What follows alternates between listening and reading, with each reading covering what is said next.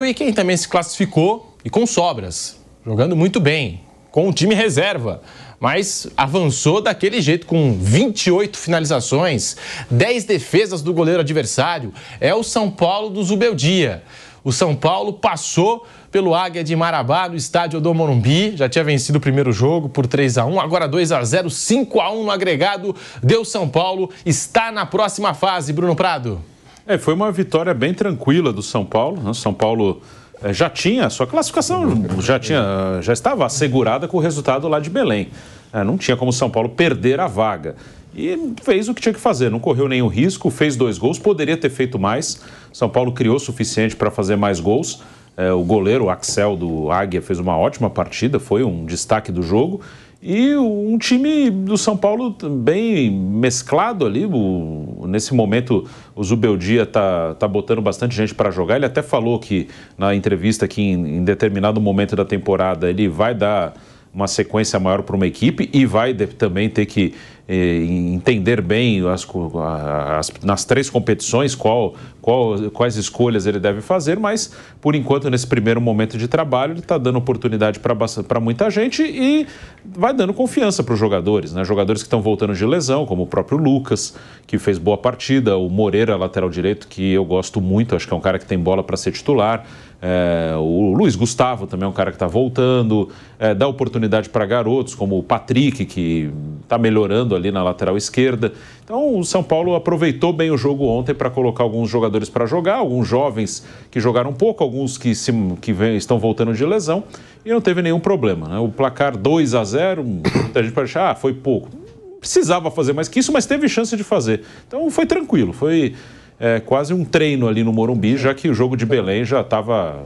O São Paulo resolveu a classificação lá em Belém. O goleiro Axel teve uma sequência de defesas ali, duas, três defesas no mesmo lance, se destacou. Ao todo, 10 defesas, 28 finalizações desse São Paulo que quer mais e mais. Agora é Zubeldia e alegria, hein, Vanderlei Nogueira? Ninguém segura. É, é, o, passou porque, obviamente, é, o Bruno falou, quer dizer, liquidou no primeiro jogo. A gente até falava, poxa vida, não precisava nesse sistema. Alguns, uh, algumas equipes claramente vão perder os dois jogos. Né? Precisava trazer lá. Aí isso já teve no, no passado. Liquidava logo no primeiro jogo, aí não, não tinha o segundo jogo. Agora, uh, esse é o formato, e aí tem outro lado também. Né? Uh, a, a, emoção de, desses jogadores todos de chegarem num grande centro, ou dos principais centros do país, uh, do futebol, tem todo esse, esse, cenário que você tem que avaliar também. Então, o, o Águia de Marabá já sabia que ia perder qualquer tipo de chance para continuar na competição. Nos últimos cinco jogos, isso é, é, é, você tem que tomar o pulso do mês do time, né, para se avaliar como ele anda. Ele perdeu por 3 a 1 depois ele jogou contra o Fluminense do Piauí, 1 a 1 Ele jogou em seguida com o Cametá, 1 a 1 Enfrentou o Maranhão e tomou de 4 a 0. E agora teve o São Paulo pela frente de novo e perdeu por 2 a 0. Então, é, é um adversário frágil. E o São Paulo passou, atingiu o objetivo e vai se ajeitando. Né? Tem, tem uma caminhada larga pela frente aí, seguramente vai enfrentar adversários mais difíceis a partir de agora. É que a gente viu, por exemplo, o Corinthians contra o América de Natal, que também é um time de Série D do Campeonato Brasileiro, e o Corinthians não sobrou nos dois jogos. Se não é o Carlos Miguel na primeira partida, e o segundo jogo também não foi assim, nossa, o Corinthians, que atuação. Fez a sua parte, fez o seu papel, se classificou, tá, legal, mas não foi assim, nossa, não, o Corinthians amassou. Não, não amassou. agora, é, Mano, ele... agora o São Paulo passou e passou bem. É. Sem sustos, mas, controlando o jogo, tranquilo, até com o time reserva. Se você colocar na mesa esses três adversários aí, o mais difícil foi o América. É o, é o América. A América tem mais time que o Botafogo de Ribeirão Preto o América tem mais time, muito mais time, que o Águia de Marabá. É, é que são todos times mais frágeis do que né, os, os, Não, adversários. Claro, Flamengo, Palmeiras, claro. São Paulo, Corinthians. É, né, claro, mas, mas, o Corinthians vive uma fase que todo adversário é um pouco complicado para o Corinthians. A gente sabe disso. E o Corinthians também passou, foi no sufoco, né, mas al alcançou o objetivo. Para o Corinthians nessa hora, Bruno, é, é, é, é o, o Pedro, é o que interessa, passar Né? Já pensou? Nessa, nesse, nessa fumaça toda que está vivendo, você sai nessa fase da competição. O Corinthians conseguiu passar. Isso é importante. O Zubeldia está invicto no comando do São Paulo, hein? São oito jogos agora, seis vitórias e dois empates na conta do Zubeldia Vampeta. O São Paulo está classificado para as oitavas de final da Copa do Brasil. Quando teve o sorteio para essa fase da Copa do Brasil, né, por, por, por time, o São Paulo foi o que se deu melhor. Ah. E, e, o Águia nem mandou o jogo em Marabá, mandou em Belém, né? Isso. Tinha um problema lá, eu sabia que para ganhar o dinheiro. Passou sobrando, o Zubeldia tá aí, não perdeu ainda. Botou o jogador, rodou, rodou deu tempo, né? Campeonato brasileiro parado. Vibra muito, eu tava vendo ontem, ele não fica no, na área técnica, nem a pau, vai pra lá. É. Agita, vibra. Agitado. Quer dizer assim, deu tempo para recuperar jogadores importantes, vai ter o Lucas voltando, né? Essa minutagem que nem se fala. aí você tem o Caleri machucado que precisa recuperar. Porque vem aí jogo de Libertadores e vem o Campeonato Brasileiro, que é o principal, né? E esse time, tudo que passou, e todo mundo classificou, Pedro, é aquilo que eu falei. Copa do Brasil vai pegar fogo na próxima, nas próximas rodadas, porque aí o sorteio pode dar de tudo. É. Sorteio vai dar clássico. Pode cair de novo São Paulo e Palmeiras, quem sabe? De novo, né? Que todo ano estão se enfrentando na Copa do Brasil. Porque se, se o desenho for o que a gente está imaginando, de o Inter eliminar o Juventude, o Grêmio tirar o Operário do Mato Grosso, e o Atlético Paranaense tirar o, o Ipiranga, no sorteio vai ter muita gente querendo pegar Goiás e CRB. E foi no é. que classificou. é. Que pode dar, pode dar qualquer confronto aí, pessoal. Atlético Paranaense é jogo duro. Não, ainda Isso. tem o Atlético Goianiense que também tá ali, né? Também, também. Mas o Atlético Goianiense em casa ela faz fumaça. Mas é adversário de Série A, né? É. Rapaz, é o São Paulo do Zubeldia com time misto, foi lá 2 a 0 Eric e Lucas Moura foram as redes. Poderia ter sido 3 a 0 mas o gol marcado pelo Juan foi anulado. E o Homem Rodrigues está onde? Fica a pergunta, cadê? Fez o rodízio com todo mundo, cadê o homem? Cadê o Ramson? Tá convocado Tá controlando carga. Seleção da Colômbia. Ah, o São Paulo já vai liberar logo antes. É. Ô, Bruno, esses caras aí se apresentam quando, hein, velho? Ah, não vai demorar, não. Tem mais, acho que dois jogos, tá no máximo. Aí vai para a né? Colômbia convocou seis que jogam no Brasil. Arias? Foi o Arias, foi o Rames Rodrigues, o Richard Rios, o Borré do Inter, o Arias do Bahia, lateral direito. Ah, tem, é. E um do Coritiba também, Sebastião Gomes, que é, que é meio campista. Boa. E o Rames Rodrigues nada de aparecer no jogo de ontem, não, Mesmo com o time reserva do São Paulo, nem no banco de reservas ficou viajar, o Rames Rodrigues. Bala, essas coisas preparando para a Copa América. É, é e o, o, Júlio Casares deu entrevista falando que o São Paulo vai esperar a Copa América. Então, para ver se então, aparece então, alguma coisa. Na Copa América, as seleções assim, sul-americanas que, que já convocou foi Brasil, Venezuela, Colômbia, né? Argentina, a Argentina vai Argentina também. três. Colômbia tem dois cortes também ainda para Isso. Fazer, Sim, mas a Argentina não foi ninguém que joga. Os argentinos que jogam no Brasil, ninguém. Não, ninguém. Então, falta aí, ó. O Uruguai que vai dar um susto aí, que tem o Uruguai pra porra jogando aqui no tem, Brasil. Tem. É, é. Já saiu do Chile também? É, o Chile saiu uma lista Pulgar, com 50 e poucos. Pulgar, Pulgar do tem Flamengo. vários do Brasil também. Vargas, tem. Vaga, Pulgar. Tem, tem, mais gente aí, tem. É só tentar lembrar. é, mais. é que tem seleção que ainda está prometendo os cortes, né? Não é. a lista definitiva ainda. Kusevich, tem Kusevich. Chile ali. Ó, oh, joga no Cuiabá, né? Tá no Fortaleza. Fortaleza. E o São Paulo venceu por 2 a 0 Lucas Moura retornou ao time. Lucas que ficou dois meses aí parado, se recuperando. O Nestor também está de volta. Tem isso, um momento de crescimento desse São Paulo do Zubeldia, invicto. É, um São Paulo que ontem, com 28 finalizações, 2 a 0 não estava suficiente, 1 a 0 não estava suficiente, vamos buscar é, mais. Certíssimo. E, e, e esses dois nomes são importantes, né? O Lucas e o Nestor. E quando você enfrenta um time frágil, que é o caso, você tem que tentar fazer gols. A gente fala muito isso aqui. Acabou, é, não tem culpa que está enfrentando um adversário fraco. E o São Paulo fez dois gols, mas esse detalhe que você falou é correto. Quer dizer, 28 eh, tentativas, vai, vai para cima. O goleiro, o destaque do jogo, fez defesas ótimas. Então, isso está certo. Perfeito. É isso aí. E o Lucas Moura voltando, voltando bem, importante para esse time do São Paulo, funcionamento, a engrenagem. O Nestor, também jogador importantíssimo para esse São Paulo. Já está até algum tempinho o Nestor, né? É, a gente né, pega o Nestor, aquele jogador que foi revelado pelo São Paulo da base, mas se for parar para pensar, já está há alguns anos participando bastante aí, efetivamente, desse time. E um momento de crescimento do São Paulo como um todo, coletivo e tudo mais. Bruno Prado, dá para sonhar com o título da Copa do Brasil, Bruno Prado? Sim, acho que sim. Ganhou ano passado. Né? O time é, do São Paulo tem praticamente o mesmo elenco, um mata-mata. Eu acho que é possível. Acho que nas competições de mata-mata o São Paulo pode sonhar na Libertadores também. É claro que eu não acho que ele é o, principal favorito para ganhar a Libertadores, mas eu acho que no mata-mata esse time pode encarar. O Vampeta fala muito disso, né? No 11 contra 11. Na 11 ali, é tudo muito tá? equilibrado. É, a diferença não é tão grande. Aí você pode dizer, o Flamengo tem um elenco melhor, o Palmeiras, o Atlético Mineiro. Sim, acho que sim. Mas acho que no brasileiro que isso vai fazer mais diferença, que aí na regularidade a tendência é que esses times façam mais pontos que os outros. Mas no mata-mata, você pega 11 contra 11, São Paulo e Palmeiras, São Paulo e Flamengo, São Paulo e Atlético, São Paulo pode encarar como ano passado encarou. Né? O Palmeiras, São Paulo tem conseguido é, tirar o Palmeiras de algumas competições. Né? Fica a impressão, muitas vezes parece que o São Paulo sempre ganha do Palmeiras. Não é que sempre ganha, mas ele compete. Né? O Palmeiras, é, nessa era do Abel, ele leva vantagem contra quase todo mundo, contra o São Paulo é equilibrado. Né? O Palmeiras já ganhou o final de Paulista com o São Paulo e já perdeu. Palmeiras já tirou São Paulo de Libertadores, o São Paulo já tirou Palmeiras duas vezes de Copa do Brasil. É um duelo equilibrado. E contra o Flamengo, o São Paulo fez uma final ano passado e venceu.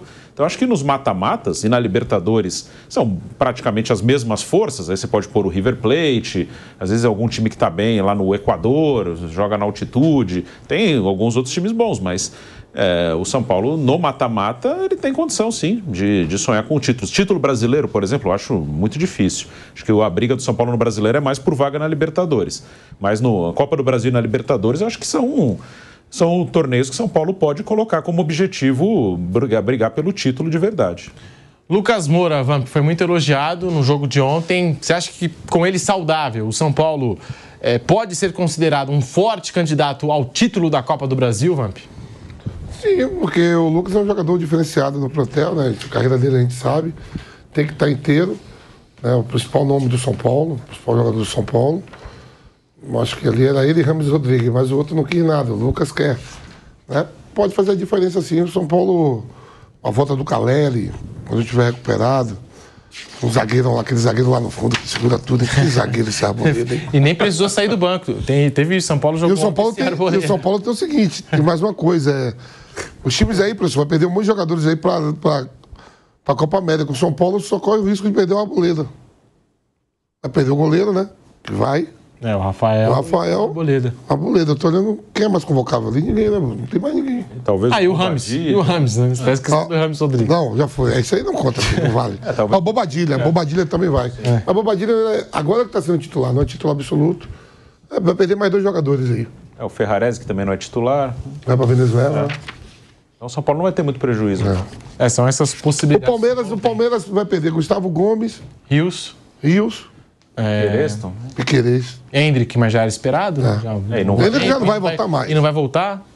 Perde três. É, a gente falou Gustavo Gomes? É Gustavo Gomes, Gomes. Gomes, Piquerez e Rios. Acho é três. Gomes, Piqueires e Rios. É.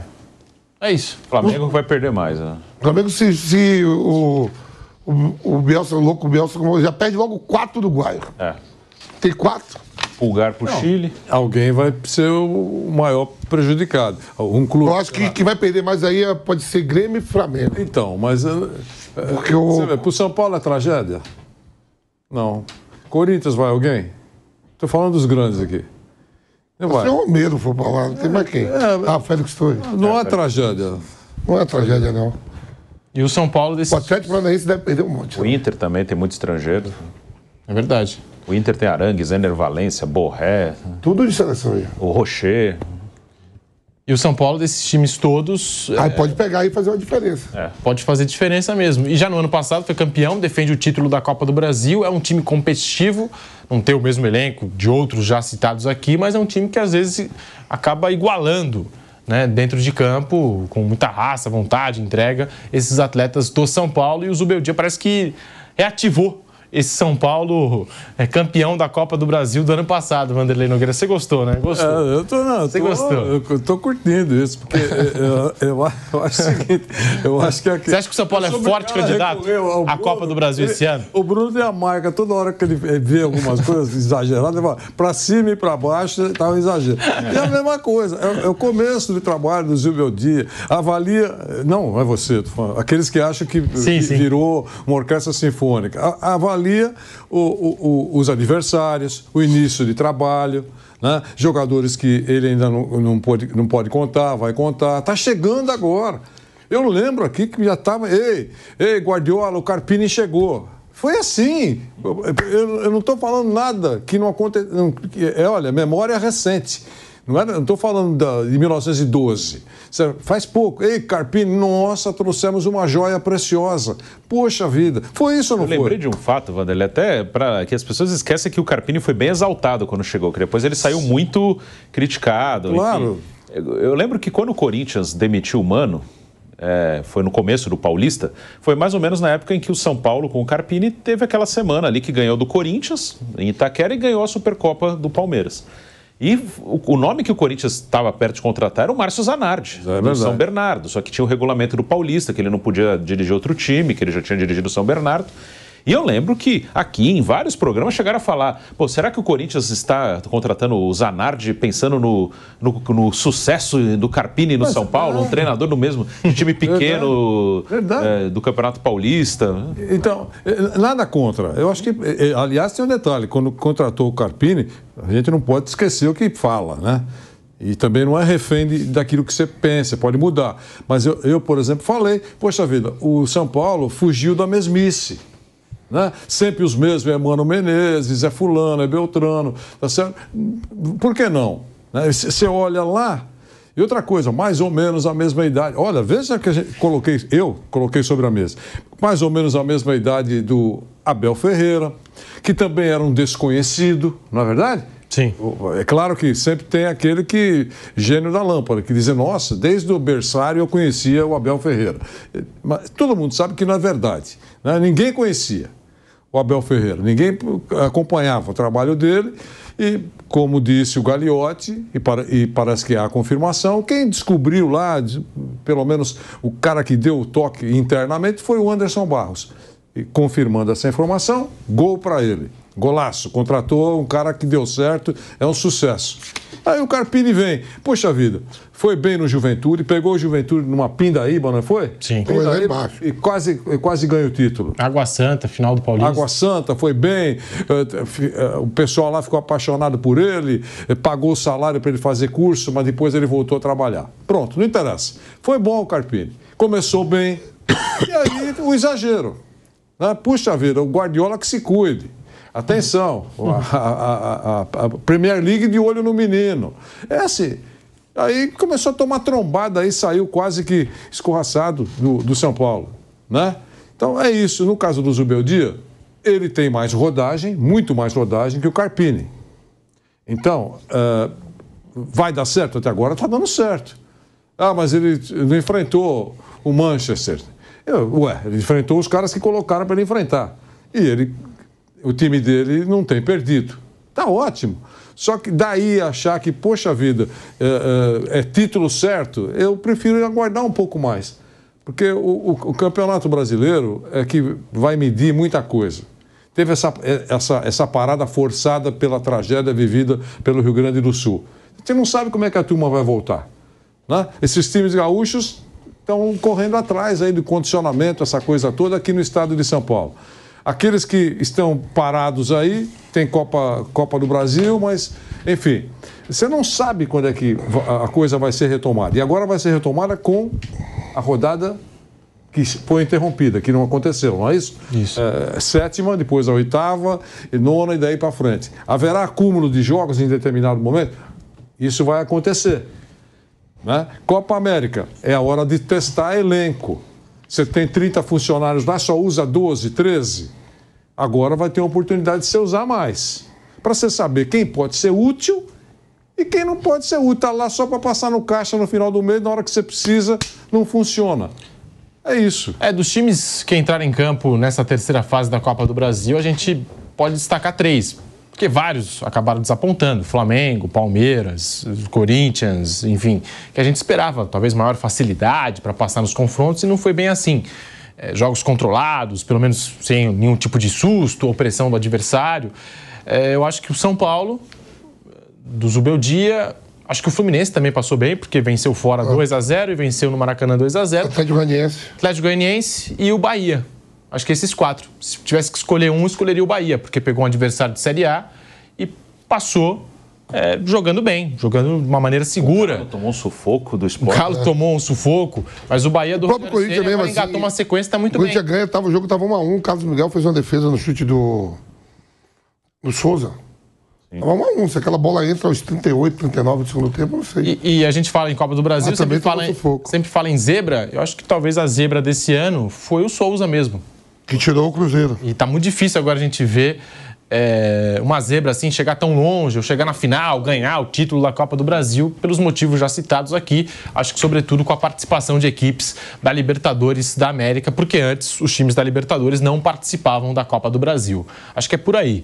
É, a gente não vê mais essas zebras indo tão longe. É, eu acho que tem dois, três fatores aí na Copa do Brasil, até comparando com outros países. Em outros países, na Europa, na, na Argentina também, é, tem mais zebras nas Copas. O River Plate foi eliminado pelo Ontem, né? Temperley, é, essa semana, que está na segunda divisão. Mas lá é diferente, é campo neutro, né? Negócio de É, louco. tem, né? é um jogo só. Acho que tem alguns fatores. Aqui tem a- aquele período que os times da Libertadores estavam fora, era uma competição mais fraca, então abria mais o caminho para mais zebras. Os times de Série A que estavam jogando não eram os mais fortes. Agora, com essa volta já, já há um bom tempo dos times da Libertadores jogam os mais fortes.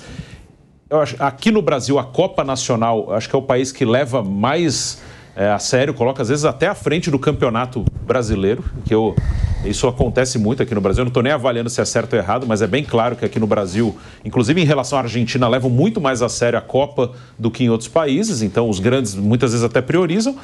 E aqui, é, quase todas as fases são em dois jogos. né? A primeira fase e a segunda foi em jogo único, mas os times que, por exemplo, que estavam na Libertadores, estão na Libertadores, estão entrando agora.